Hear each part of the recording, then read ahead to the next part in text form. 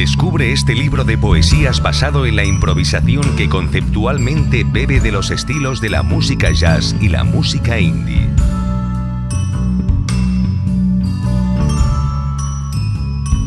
Los escritores Marcela Loctos y Chema Lagarón nos inspirarán y conmoverán en lo más profundo de nuestros subconscientes.